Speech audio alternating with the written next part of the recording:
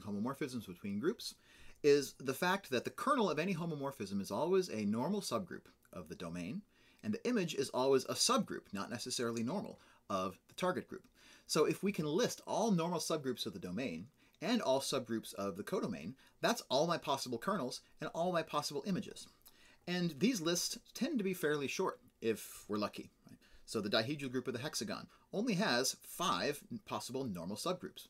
So there are only five different kernels that a homomorphism from D6 into any group, let alone A4, could have. So now let's start playing the order game with these. The orders of these normal subgroups in D6 are respectively 1, 2, 3, 6, and 12. Meanwhile, the orders of all of the subgroups in A4 are 1, 2, 3, 4, and 12. So how are these related one to another? And this is where the magic element comes in, the first isomorphism theorem. The first isomorphism theorem, remember, tells me that the factor group of the domain by the kernel, which is a normal subgroup of the domain, that factor group will be isomorphic to the image of my homomorphism. Factor group isomorphic to image. So let's list out what are the orders of the factor groups for these various normal subgroups of D6. Using Lagrange's theorem, we know that the factor groups, the number of cosets that there are of this normal subgroup in D6, is just equal to the number of rows in a row by column table that we might make of the elements of D6 with one of these as our first row, which is to say that we just divide the order of the whole group by the order of this subgroup to determine the order of the factor group. So if my factor group, sorry, if my normal subgroup, my kernel, were trivial, then the factor group would have order 12 divided by 1, or 12. If it were this, it would have order 6, order 4, order 2, order 1. So now I have a list of all the possible orders for factor groups of D6 by its normal subgroups. And I also have a list of all of the orders of the subgroups of A4 which might be images of these homomorphisms. And the first isomorphism theorem says that any homomorphism between these two groups will be an isomorphism between the factor group and the image. And because we have finite groups here, an isomorphism between factor group and image implies that the order of the factor group will have to equal the order of the image subgroup. And so the only possibilities are those that match up the order of the factor group with the order of the image subgroup. So now I know for sure that the only possibilities are these four. A factor group that has 12 elements and an image that has 12 elements, i.e. A4. A factor group of four elements and an image of four elements. A factor group of two elements and an image of two elements. Or a factor group of one element and an image of one element. I cannot have a factor group with six elements because there's no image subgroup that could have six elements. I can't have an image subgroup of three elements because there's no factor group that has three elements. So now I'm able to rule out two possibilities. We can't have this normal subgroup, i r cubed, be the kernel of phi, because its factor group, order 6, doesn't have any order 6 companion to which it could be isomorphic as the image of that homomorphism. For the same reason, this order 3 image uh, subgroup of A4 cannot be the image of any homomorphism into A4 uh, out of D6 because there's no order 3 factor group that it could match up with. Okay, so what about 12 and 12? Could it be possible that the kernel is trivial and that the image is all of A4? Well, if the kernel is trivial, then that must mean that my, my function, my homomorphism is one-to-one. -one. Remember, one-to-one if and only if uh, kernel is trivial. But then in this situation, the image has 12 elements, but A4 only has 12 elements. So it means that the image is all of A4. And so in this case, my homomorphism would be one-to-one, -one, but it would also be onto. And that would make it an isomorphism. Is this possible? Well, if it existed, then there would be an isomorphism from D6 to A4. They would be isomorphic as groups. But we know that these groups are not isomorphic because, for example, D6 has an element of order 6, a4 does not have an element of order 6. So these two groups are not isomorphic. Therefore, we can't have a trivial subgroup be the kernel, and we can't have all of A4 be the image, because those two would have to go together, and if they did go together, we would get an isomorphism between these groups that doesn't exist. All right, so now we're starting to, to rule some things out. Let's go down to the bottom of the list. If the kernel were all of D6, that would mean every element from my domain is getting sent to the identity element in the target group. That would make my homomorphism trivial. And we can see that also because in this case, the image subgroup is also the trivial subgroup. So only the, the identity element is getting hit under that function. So that's my trivial case, but we're looking for non-trivial homomorphism, so we should keep looking.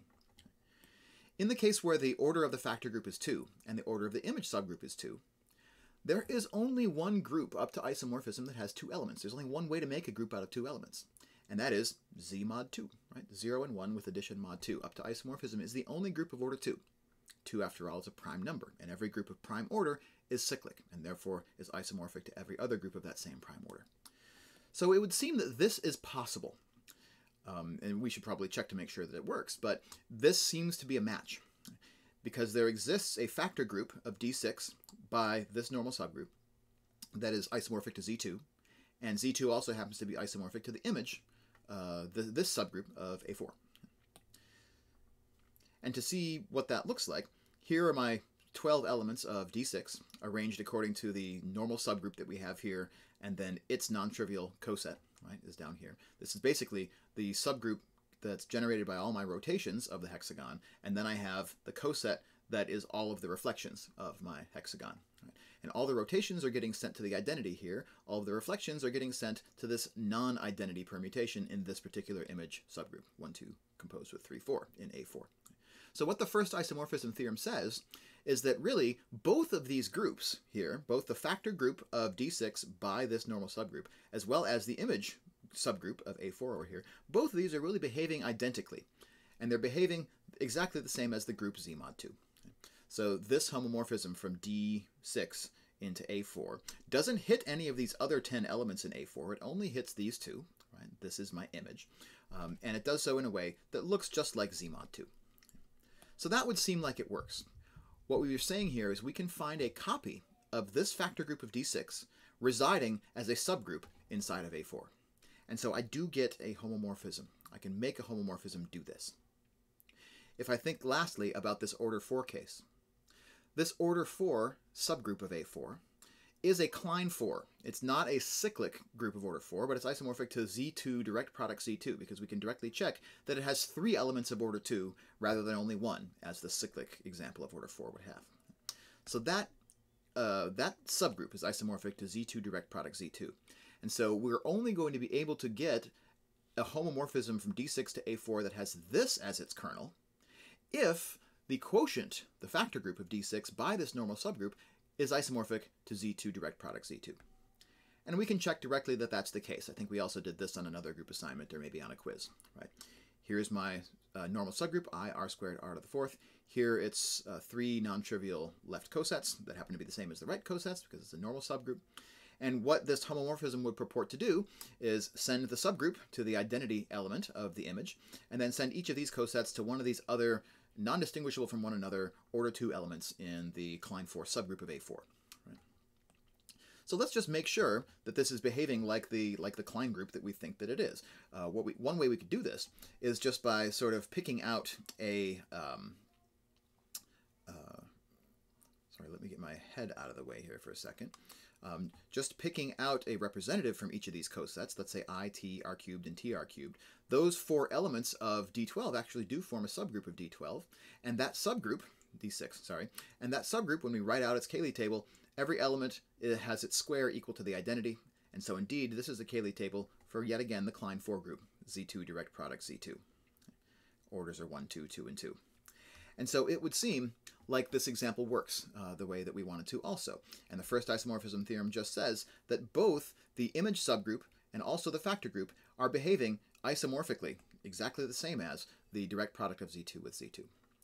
So it would seem like we can build a homomorphism that does this as well. So we have a non-trivial homomorphism that has this as its kernel. We have a non-trivial homomorphism that has this thing as its kernel. And then there are, I guess, three other, um, no, two other image subgroups that also have two elements that we could have chosen here instead. So it turns out that the answer to whether there are non-trivial homomorphisms from D6 to A4 is yes. There aren't a ton of them. It turns out there's only four of them.